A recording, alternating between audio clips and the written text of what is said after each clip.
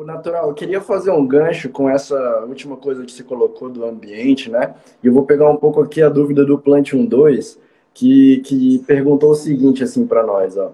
Tem algum material mais indicado para fazer o espaço do cultivo no indoor, né? Madeira, metal. E aí eu vou deixar você falar um pouquinho, porque eu sei que você já fez esse espaço de cultivo de várias maneiras diferentes e que vai ter uma boa experiência sobre esse, essa montagem, né? Esse setup aí do, do espaço de cultivo. Quiser falar um pouco para nós essa dúvida do Plant 12, valeu Plant 12? Show de bola. É, hoje em dia, né, a gente já tem aí uma variedade de grow box, os chamados grow box aí, né? Então, como que são os materiais mais ideais para esse tipo de coisa. Mas para mim, o que eu acredito é que o melhor espaço de cultivo é o que está à mão do cultivador. Então, aí a gente vai usar a criatividade, vai usar ali, né, é, do que tiver à tua mão, em disponibilidade, em recursos ali, né? O importante mesmo é você criar esse meio ambiente, seja ele o mais adequado ou seja ele com algum algumas questõezinhas que não vão ser tão boas, mas para mim, de verdade, Tico, o ideal mesmo é aquela que permite que o cultivador entre em contato com a tua plantinha, com o seu cultivo ali, né? Uhum. Mas claro, alguns materiais vão ser mais adequados que outros nesse sentido, né? O que a gente tem que pensar é, prioritariamente mesmo desse espaço de cultivo, desse grow, é, é a, a, o controle tanto da temperatura quanto da umidade ali. Esses vão ser os dois principais fatores que a gente vai pensar em questões ambientais para esse, esse cultivo. Depois,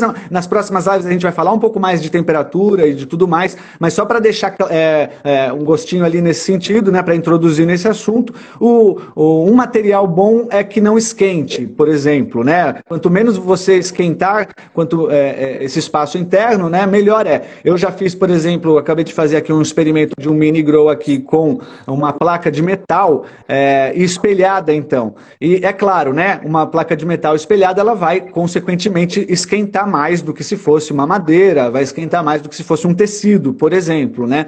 Então, é, nesse sentido, acho que é o mais interessante ali você pensar no revestimento interno para que é, evite um, um superaquecimento. A gente vai saber aí, então, por exemplo, porque por conta das lâmpadas, né? É, a gente já vai ter um aumento de temperatura com relação à temperatura ambiente, né? Então, é, aí vai entra mais uma vez na estação do ano, né, Tico? Se a gente está no inverno, por exemplo, agora, você pode ter certeza que o teu grow, seja ele o material que for, vai esquentar bem menos do que você tiver lá no verão, que a temperatura já é mais alta e, e essa luminosidade vai acabar esquentando mais ainda. Então, o que, que, eu, o que, que eu acho, né, ali? É, os materiais que os grow box são feitos, por exemplo, aquela lona, né, aquele tecido ali, ele evita de esquentar muito é, e, e, você tem uma alteração pouca com relação a essas paredes internas, né? Com relação à cor do revestimento interno, a gente vê aí, pelo menos pelo que eu vejo de experiência dos, de outros cultivadores, a galera prefere muito mais o revestimento branco, né, que vai dar um, um reflexo ali melhor, que vai dar um espalhamento dessa luminosidade de uma maneira maior, né? Tem alguns materiais que são aqueles mais reflexivos, aquele é, que, que é uma parede já que reflete um pouco mais ali, uma lona que reflete um pouco mais, né?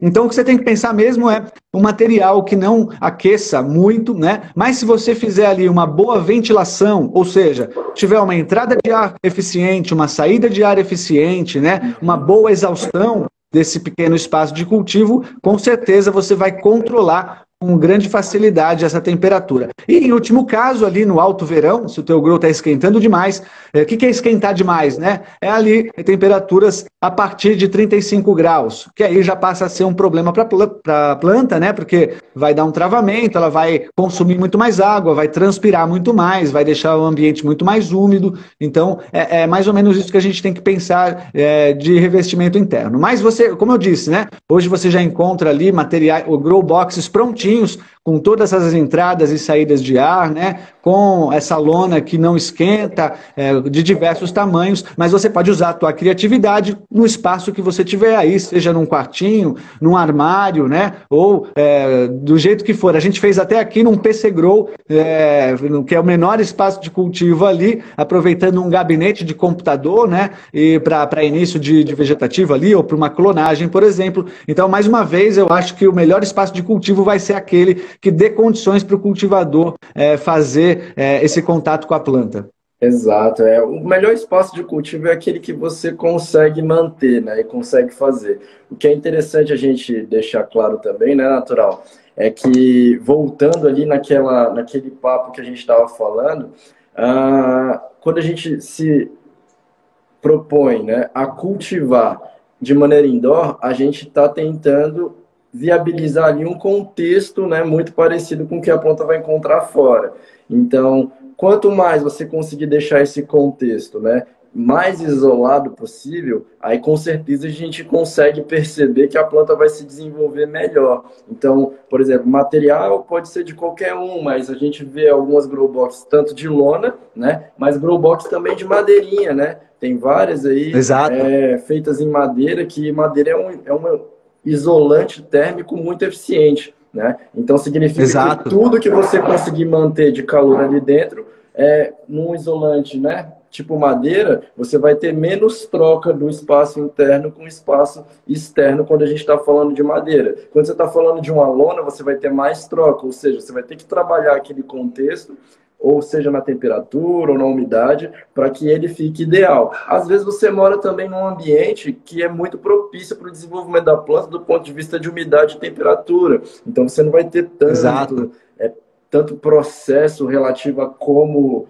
é, manter esse contexto aqui. Agora, quem está mais para o sul, tipo né, nós aqui agora, a gente já está vivendo um contexto de inverno. Então, quanto mais a gente conseguir melhorar a temperatura interna dentro do contexto, ou tiver menos troca de calor entre esse ar de dentro com o ar de fora, significa que a planta vai ter condições mais eficazes e eficientes para o seu, crescimento. Então, varia muito, né? Mas eu concordo contigo e né, não só concordo como aprendi que melhor contexto é aquele que a gente consegue dar conta e aí a gente vai trabalhando ali é, todos os parâmetros. Né?